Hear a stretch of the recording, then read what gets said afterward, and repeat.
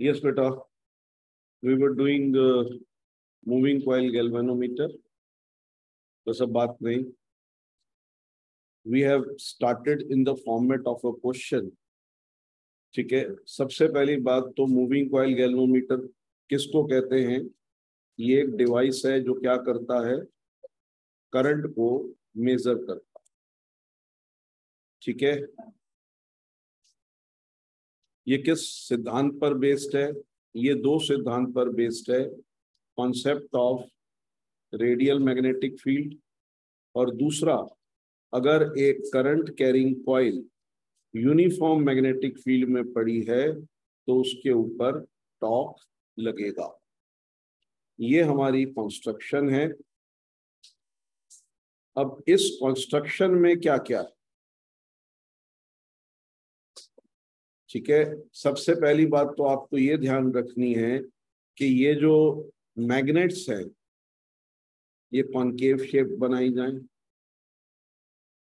Number two, ठीक है जी, centre में कोर ज़रूर दिखाना है। और नंबर तीन, नीचे स्प्रिंग ज़रूर दिखाना।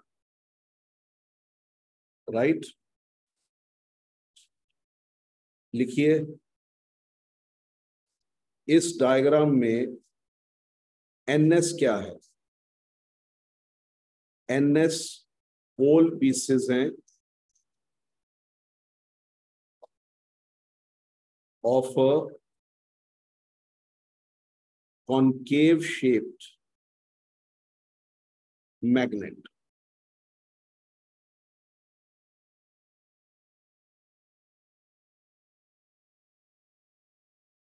right? A B C D क्या है? Coil armature coil capital C क्या है? फेरोमैग्नेटिक कोर बेसिकली ये सॉफ्ट आयरन का बना होता है।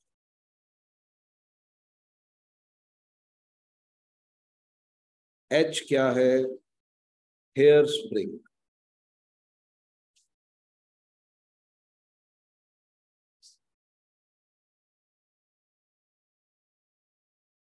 ठीक है जी।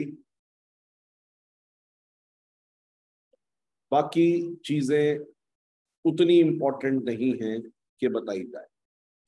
इच्छा है। T one T two terminals हैं। टी टॉर्शन हेड है। पी पॉइंटर है। ठीक है? But they are not necessary to be told अब बेटे थ्योरी एंड वर्किंग थ्योरी का मतलब होता है मैथमेटिक्स और वर्किंग का मतलब होता है डिवाइस कैसे वर्क करती है। कुछ डिवाइसेस में बेटे, हम वर्किंग अलग बताते हैं थ्योरी अलग बताते ठीक है? किसी में थ्योरी छोटी होती है, वर्किंग बड़ी होती राइट फॉर एग्जांपल ट्रांसफार्मर में वर्किंग छोटी है, थ्योरी बड़ी है। एसी जनरेटर में वर्किंग बड़ी है, थ्योरी छोटी है। Right right? लेकिन मूविंग कॉयल गैल्नोमीटर में हम थ्योरी और वर्किंग साथ साथ बताते थ्योरी का मतलब है मैथमेटिकल पार्ट और वर्किंग का मतलब वर्किंग लिखिए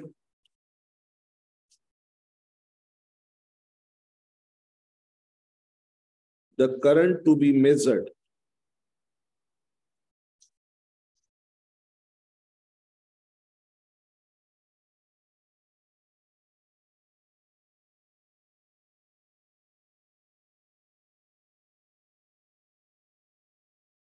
is passed through coil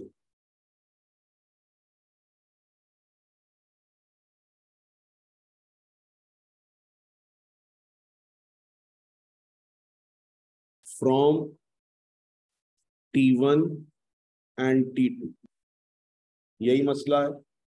मैं जिस करंट को तुमको मेजर करने का है, उसको कॉइल से पास करो। ऑब्वियसली वो करंट T1 से एंटर करेगा कॉइल से घूम के जाएगा, फिर हेयर स्प्रिंग से होता हुआ T2 से होता हुआ बात। ये जो करंट है, इस करंट की वजह से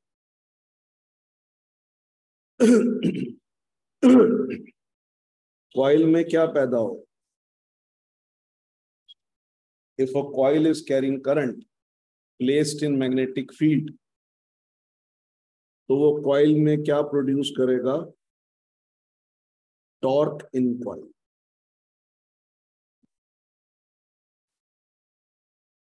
given by क्या फॉर्मूला है टॉप का? N I A B sine theta अब क्योंकि फ़ील्ड रेडियल है,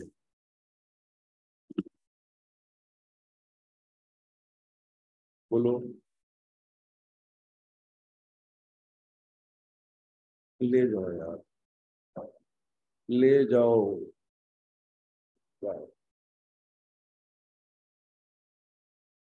क्योंकि फ़ील्ड रेडियल है सो इसीलिए थीटा जो है, वो कितना होगा?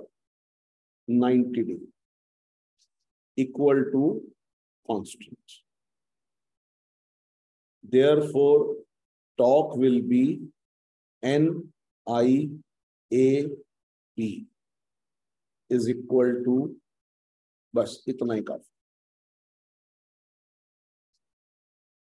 आपको जो करंट मेजर करना है, उसे कॉइल से पास करो। हो गया कॉइल से पास सॉरी वो करंट कॉइल में टॉक यूज़ करो। मेंशन करो राइट कि जो एंगल है, वो 90 डिग्री का है। क्यों 90 डिग्री का है? क्योंकि मैग्नेटिक फ़ील्ड कैसा है? रेडियल ये डायग्राम हमें कहीं भी चाहिए। मैंने कल आपको हैंड रिटर्न नोट्स भेजे थे। चाहे पहले बना दो, चाहे बाद में बना दो, चाहे उस टॉपिक के दौरान बना दो, हमें ये डायग्राम चाहिए कि फ़ील्ड हमारा रेडियल है। बात समझ में आ गई? ये हमारी प्रॉब्लम नहीं है कि तुम ये कब दिखाओ। इज़ दिस क्लियर बाद में बात करेंगे, अभी नहीं समझ में आया। ठीक है जी? क्लियर हो गई? रेडियस रेडियल सर्कल का रेडियस होता है, वहीं से रेडियल वर्ड बना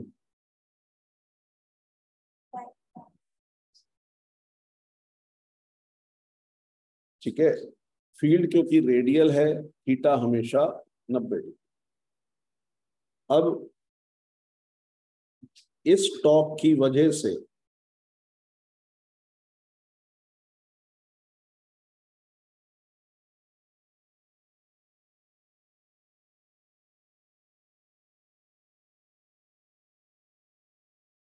coil will rotate आया ना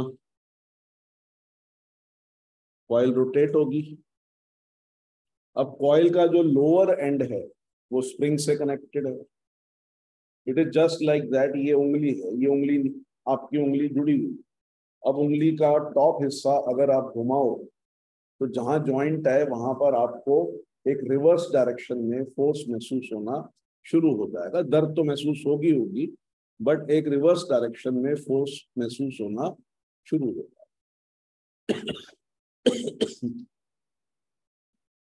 विल रोटेट जो स्प्रिंग है,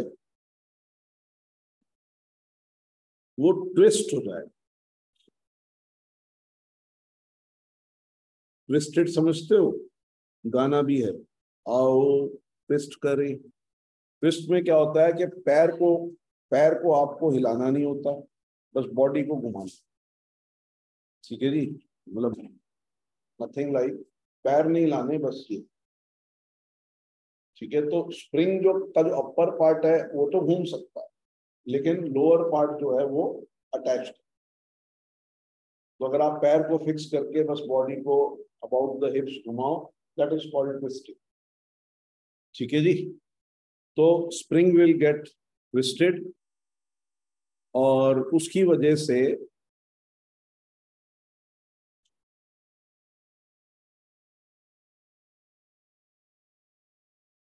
उसकी वजह से एक restoring torque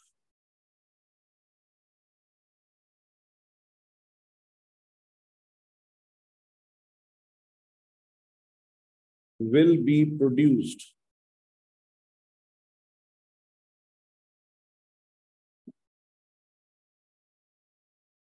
in spring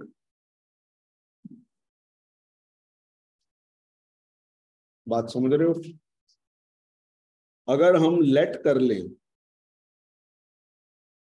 कि के जो है, वो रिस्टोरिंग टॉप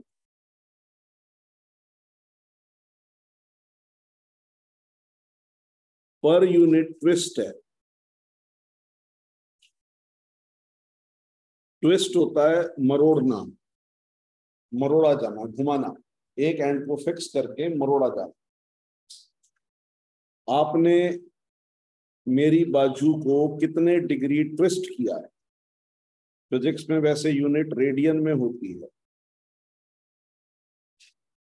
पर न्यूमेरिकल में चेक कीजिए कि के टॉर्क पर डिग्री दे रखा है या पर रेडियन दे रखा है। और फाइव जो है, वो ट्विस्ट प्रोड्यूस्ड है।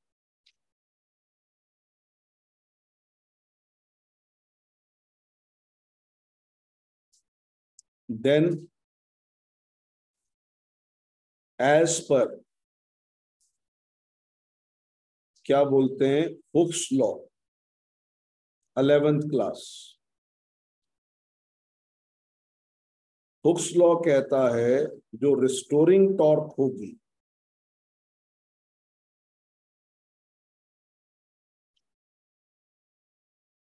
will be directly proportional to twist produced.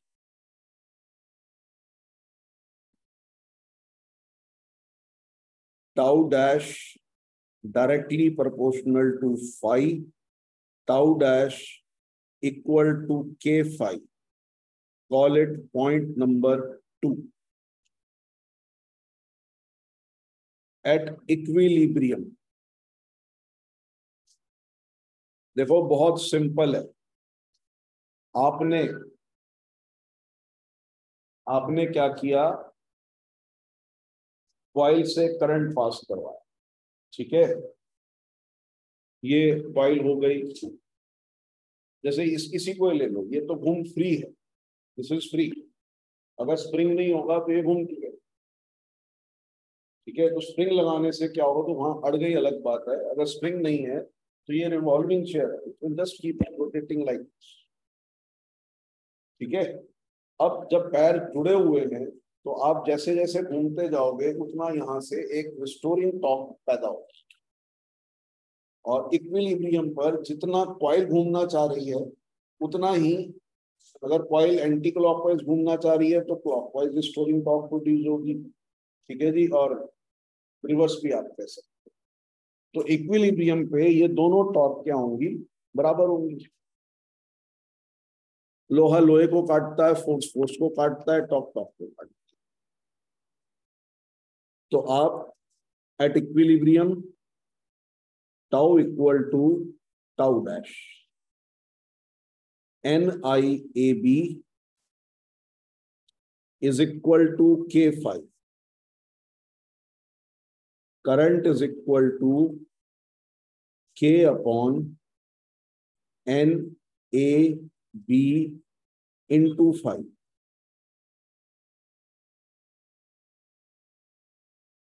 so current is directly proportional to twist produced याद रखें जितना ट्विस्ट प्रोड्यूस्ड होगा उतना ही पॉइंटर रोटेट करेगा डिफ्लेक्ट होगा Hence, current can be measured.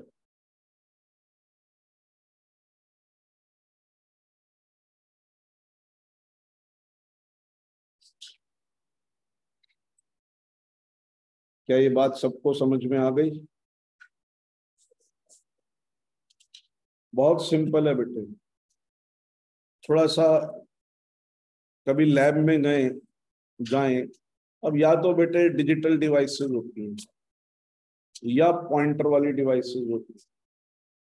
ठीक है? अब पहले जमाने में जो जो छोटी मोटी दुकानें हैं चूरण वूरण की, वो प्लास्टिक वाला वेइंग बॉक्स रखती इफ़ यू रिमेम्बर ठीक है?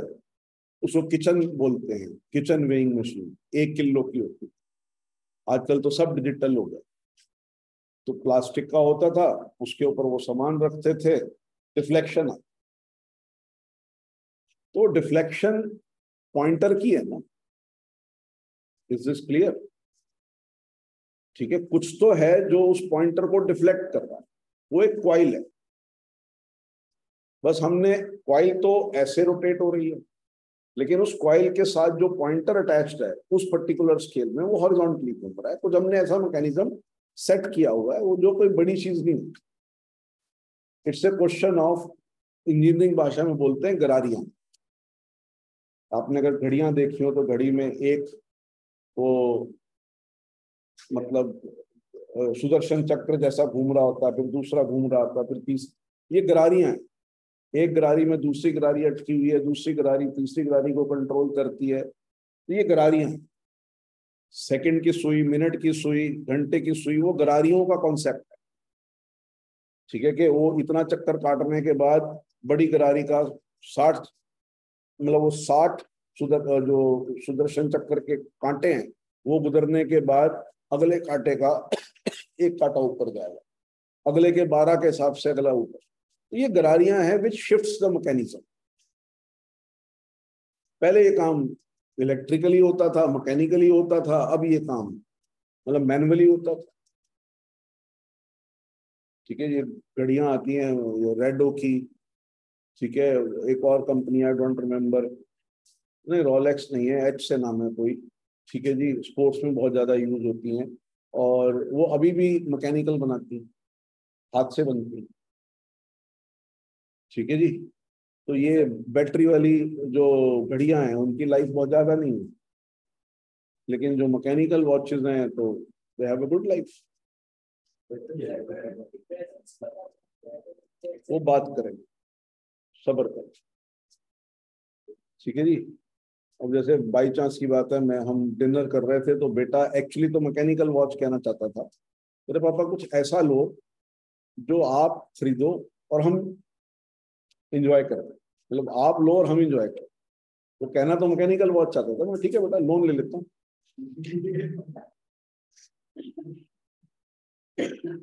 तो ये बात क्लियर हो गई? ठीक है, उसके बाद आ जाती है बेटे।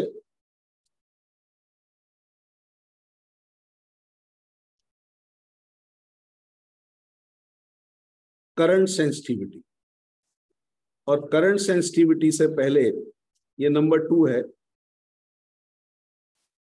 मैं सार्थक की बात का जवाब दे दूँ। बेटे, गैल्नोमीटर दोनों काम कर सकता है। करंट भी मेजर कर सकता है, वो एमीटर भी है, वो वोल्ट मीटर भी अच्छा है या नहीं है वो बात? गाना तो मैं भी गा सकता सिंगर तो मैं भी हूँ आपने देखा था। अच्छे बुरे की बात नहीं होगी ठीक है कि नहीं? तो current sensitivity what is sensitivity बहुत सिंपल सी बात है। मेजर करने के लिए सबसे पहले आपको डिटेक्ट करना ज़रूर। अगर वेइंग मशीन ये डिटेक्ट ही ना करे कि कुछ पड़ा हुआ है मेरे ऊपर, जैसे हम मज़ाक में कह सकते हैं कि अंशिका वेइंग मशीन पे खड़ी हुई, उसने सिक्का डाला, सिक्का ही बाहर आ गया कोई खड़ा तो। तो मेरे केस में जरा भाई साहब a one at a time so we we jokes like that बात समझ में आ गई? तो पहले डिटेक्ट तो हो। There is always a minimum value below which the device will not work ration की डिजिटल मशीन की दुकान पे कबाड़ी की दुकान पे एक मक्खी आके बैठ जाए, कौन सा रीडिंग आ जाएगी? Because that particular reading it cannot detect. Sensitivity is related to detection. And measurement is related to accuracy measuring device वो, जो रीडिंग एक्यूरेटली दे। ठीक है? और डिटेक्टिंग डिवाइस वो, जिसकी सेंसिटिविटी अच्छी और जिसके माशाल्लाह दोनों बातें अच्छी हो। और मस्त समझ में आ गई? तो करंट सेंसिटिविटी क्या है? Number one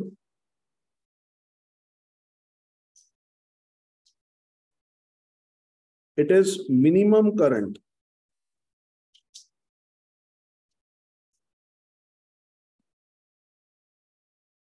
moving coil galvanometer can measure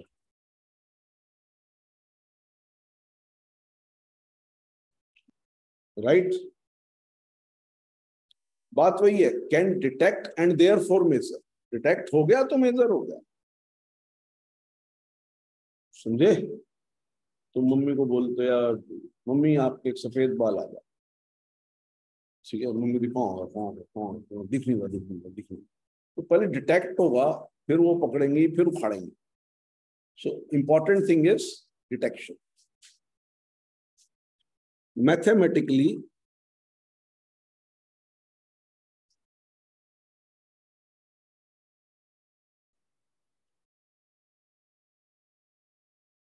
देखो कॉइल कब रोटेट करेगी? जब टॉर्क पैदा होगा। टॉर्क कब पैदा होगा?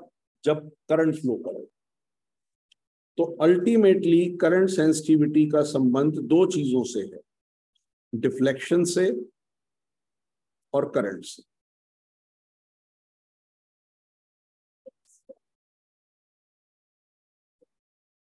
एस फॉर सेंसिटिविटी तेरे टूथपेस्ट में लगता है नमक नहीं ठीक है एस आई जो है,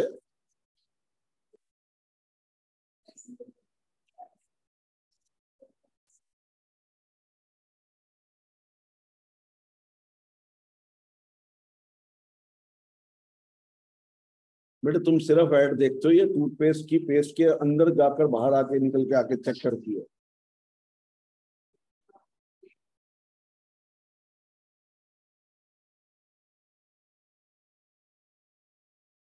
बचपन में कॉर्नफ्लेक्स मम्मी ने कहा, खा ले। कॉर्नफ्लेक्स इसमें आयरन होता है। ये मैग्नेट लेके कॉर्नफ्लेक्स ऊपर घुमा रही है। मैंने कहा थी ही नहीं। मैग्नेट खा गई। ये इसके काले घने बालों का राज है। वो तो ब्राउन मैग्नेट थी एस आई डेविएशन प्रोड्यूस्ड पर यूनिट करंट और इसकी यूनिट जो है वो डिवीज़न पर एम्पियर है।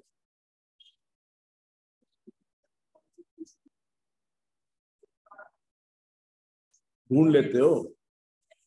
तो?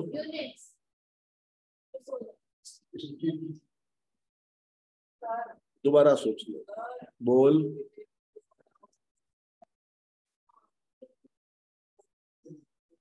ये नहीं नीचे ऊपर टॉप से लिखा हुआ है। इसको अरे मैं तो ठीक ही कर रहा था। अरे।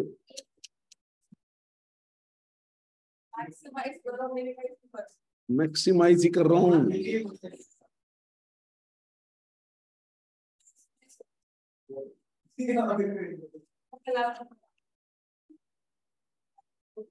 तो हुआ क्या ये? इस शहर को हुआ क्या? पहले पहले पहले तो ना मैं ठहरो।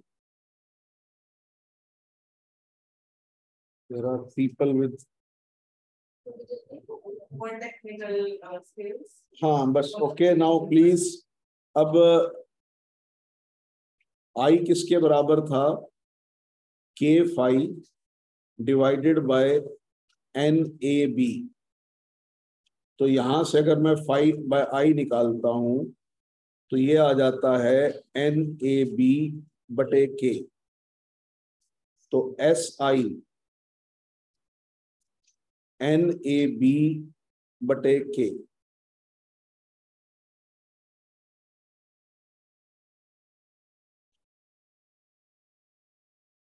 S I depends on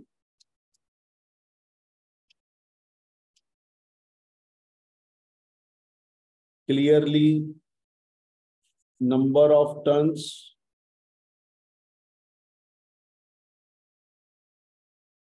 Area of coil.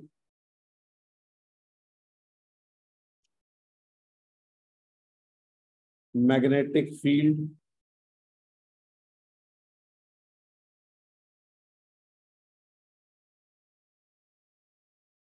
Material of spring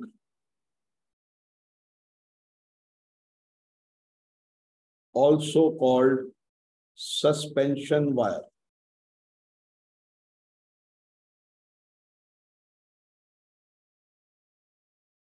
ठीक है जी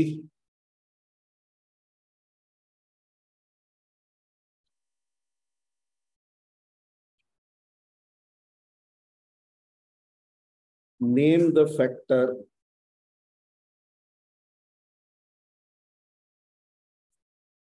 on which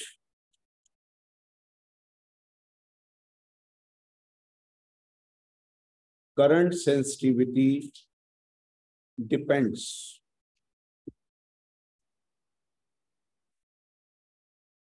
How we can improve it. Improve करने का मतलब है हम इसको कैसे बढ़ा सकते हैं बेटे फॉर्मूला आपके सामने अभी स्क्रीन के टॉप पे दिख रहा है। उसमें जो न्यूमिरेटर वाली चीज़ें हैं, उसे बढ़ा दो। जो डिनोमिनेटर है, उसको घटा दो समझ में आ गई?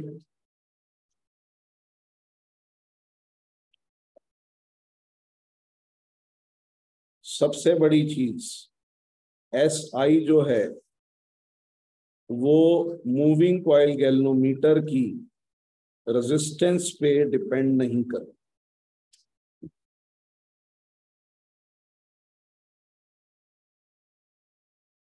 याद रखो moving coil galvanometer mainly current detect करने के काम आता है। तो उसकी करंट सेंसिटिविटी बेहतरीन होनी बहुत ज़रूरी है। समझ में आ गई? ठीक है?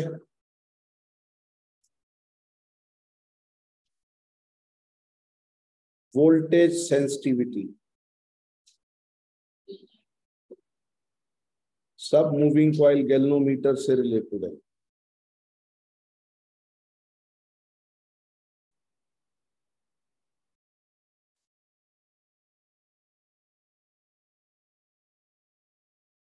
SV.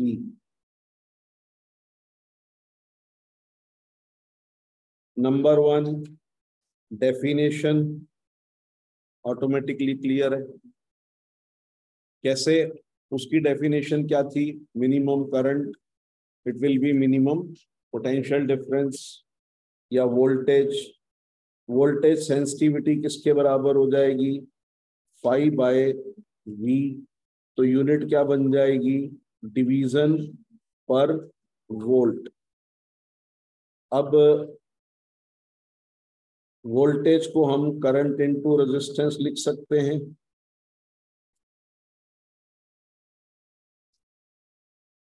एग्रीड तो इसको हम ऐसे लिख सकते हैं। Deflection by current upon resistance S I बटे आर अब एस आई की एक वैल्यू है।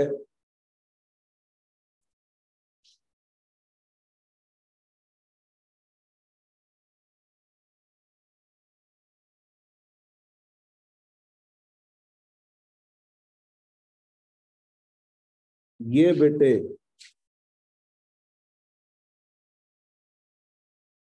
नंबर ऑफ़ टर्न्स पे डिपेंड करती है एरिया पे करती है बी पे करती है मटेरियल पे करती है और रेजिस्टेंस पे भी करती इसके दोनों फॉर्मूले याद रहने चाहिए। तो अगर मैं सिर्फ़ रेजिस्टेंस बदलूं तो करंट सेंसिटिविटी पे कोई असर नहीं पड़ेगा। मगर वोल्टेज सेंसिटिविटी बदल जाए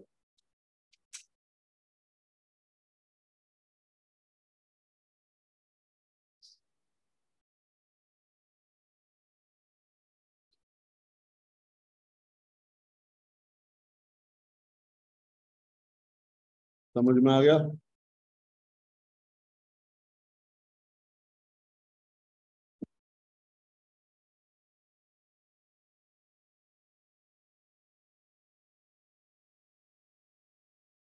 यस बेटा।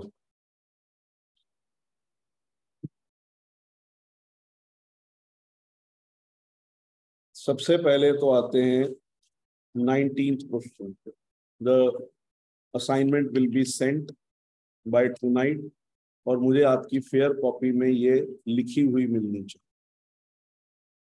ठीक है जी? एनसीईआरटी का क्वेश्चन है, समझते जाओ बस अब। ये कहता है, दो मूविंग क्वाइल गैल्वेनोमीटर सब क्या number of turns area magnetic field R दे रखा है। मेरे को ratio of current sensitivity and voltage sensitivity चाहिए। तो बेटे करंट सेंसिटिविटी किसके बराबर होती है? एन ए बी बटे के तो S I one upon S I two ये किसके बराबर हो गया? N one N two A one A two B one B two K same K के बारे में बात ही नहीं है तो सेम और रही बात वोल्टेज सेंसिटिविटी की, या तो प्रॉपर ढंग से कर लो, या एस आई की रेशो तो निकाल ही चुके हो।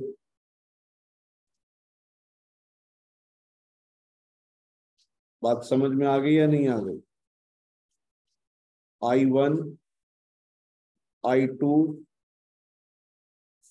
R one R two समझ में आ गया? ये आंसर ही दे रखा है कि जो मटेरियल ऑफ़ सस्पेंशन है, जो स्प्रिंग है, उसकी क्या प्रॉपर्टीज़ होनी चाहिए? सिर्फ़ एक बार बोर्ड में आया। उम्मीद नहीं है आने की। ये कह रहा है करंट सेंसिटिविटी मुझे 20 परसेंट बढ़ानी है। द करंट सेंसिटिविटी कितनी बढ़ानी है? और उस चक्कर में resistance is increase by a factor of two factor of two का मतलब है double calculate by what factor voltage sensitivity will change ये क्या कह रहा है? ये कह रहा है कि देखो भैया, मेरे को करंट सेंसिटिविटी कितनी बढ़ानी है? 20 परसेंट बढ़ानी है।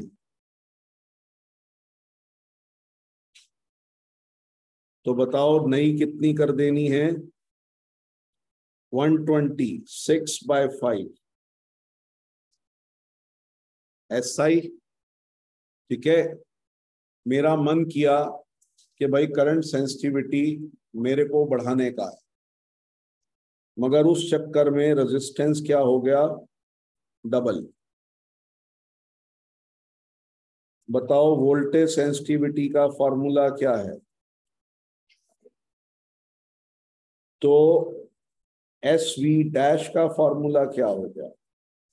एस आई डैश बटे आर डैश दोनों की वैल्यू पुट कर दूँ डायरेक्ट लिख दूँ, तीन बटे पाँच एस आई।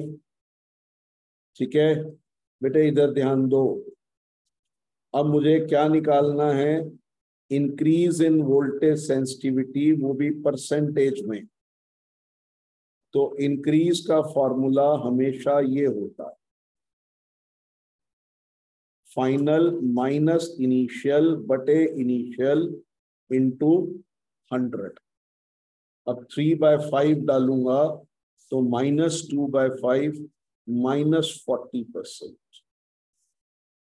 यानी माइनस का मतलब है डिक्रीज बाय फोर्टी परसेंट हाँ? ऊँचा बोलो। नहीं। हाँ अच्छा okay three by five S समझ में आ गया? जितना इंपॉर्टेंट मूविंग कॉइल गैल्वेनोमीटर है, उतना ही इंपॉर्टेंट सेंसिटिविटीज है।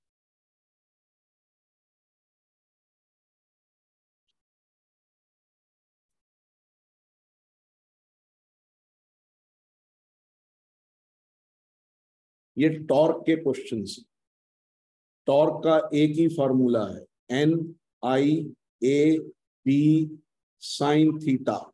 और मैंने क्या बताया था, थीटा क्या लेना है?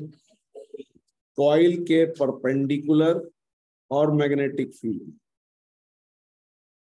चलिए देखना शुरू करते हैं। हंड्रेड टन्स, डन हो गया। बोलिए, ये नंबर ऑफ़ टर्न हो गया। Is bound on a circular coil of radius. ये एरिया आ गया। Carries a current of I आ गया. What is the field at the centre of coil नहीं field at the centre of coil होता है. Circular coil के centre में field कैसे निकलता है? Two R. ठीक है जी? What is the magnetic movement of this coil? Nia ये बेटे सर सॉरी एन से करना था। मन में तो एन ही था। और उसके बाद magnetic field of two tesla ये सबसे ज़रूरी है। In the horizontal direction exist such that initially the axis of coil is in the direction of field ये मेरी क्वाइल है, ये उसका एक्सेस है, और मेरा मैग्नेटिक फ़ील्ड भी इसी के डायरेक्शन में है। तो थीटा कितना बना? ज़ीरो डिग्री बना। बात समझ में आ गई? ठीक है? The coil rotate through 90 degree. Under the influence of magnetic field. What is the magnitude of torque in the coil in the initial position क्योंकि थीटा कितना है? हमें कॉइल के नॉर्मल के साथ एंगल लेना है। और सेकंड केस में टॉप कितना है? N I A B sine Anshpreet और डॉल्सी बात नहीं करने का। बड़े क्वेश्चन आपस में डिस्कस करने से अच्छा है, मेरे से डिस्कस कर। ठीक है जी? If you are missing some fine points let me explain those fine points आपके बात करने से किसी की कंसंट्रेशन भी बिगड़ सकती है। Right question has four parts number of turn देकर, पहले तो मैग्नेटिक फ़ील्ड एट सेंटर मांगा। पहला टॉपिक बायट सावर्ट लॉ फिर मैग्नेटिक डाइपोल मूवमेंट मांगा, वो भी पहला चैप्टर फिर इनिशियल टॉक मांगा और फाइनल टॉक मांगा। और दोनों में एंगल का चक्कर बाबू एंगल का चक्कर। टॉर्क में हमेशा एंगल का चक्कर रहेगा। नेक्स्ट गॉस में फ़ील्ड दे रखा है। उसमें क्या दिक्कत है? टेन की पावर माइनस फोर टेस्ला हो जाएगा। East to west direction. Forty four centimetre long wire with the current carrying capacity of ten ampere. What is the shape and orientation of loop which yield maximum turning effect? बताओ maximum turning effect के लिए shape क्या होनी चाहिए? Circular orientation क्या होनी चाहिए? Plane of coil parallel to field. Yes or no? Plane of coil और फ़ील्ड पैरेलल होंगे तभी एंगल 90 डिग्री बनेगा। What is the magnitude of maximum torque N I A B N कितना? वन करंट कितना? 10 ampere area कितना? Pi small are square और उसमें भी पेरीमीटर इज़ 44 सेंटीमीटर जिसको बाद में मीटर में कन्वर्ट करना पड़ेगा। और मैग्नेटिक फ़ील्ड कितना? 100 गॉस बताओ, कोई दिक्कत? टॉर्क के न्यूमेरिकल इजी होंगे, दिमाग लगाना पड़ेगा। Rectangular for just shut up rectang अभी नहीं हुआ.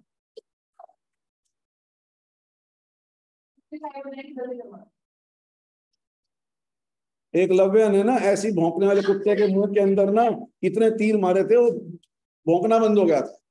और फिर अंगूठा काटना पड़ेगा उस बंदे का। इसीलिए मैं मैं बंद नहीं कर पा